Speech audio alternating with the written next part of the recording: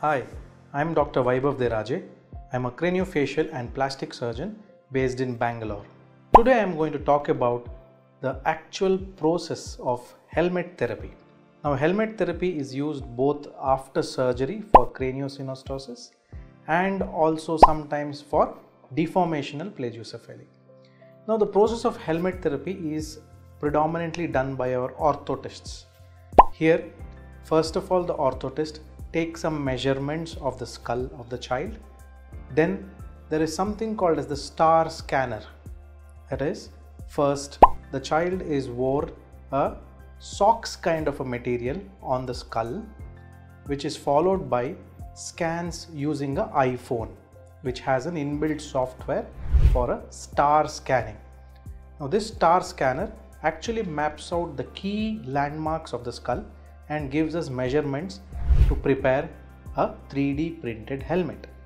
Now, this data is then sent over to our partners in North America and a 3D printed helmet is produced. It usually takes anywhere around 1 week to 10 days to fabricate this helmet. So, we usually do this scan and wait for 7 to 10 days before the helmet arrives from the United States of America. Once the helmet arrives, then our highly qualified orthotists will do some adjustments, will do some tweaking to get the final shape of the helmet which is perfectly fitting on the child's head. Now this helmet therapy is usually started 7 to 10 days after the surgery in craniosynostosis and immediately after a deformational plagiocephaly diagnosis.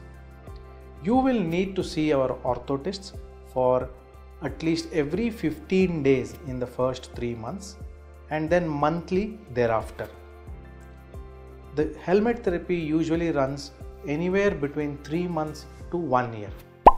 In very mild to moderate cases of deformational plagiocephaly, the child might need only 3 months of helmet therapy, whereas in helmet therapy post craniosynostosis correction, the child might require at least 1 year of helmet therapy.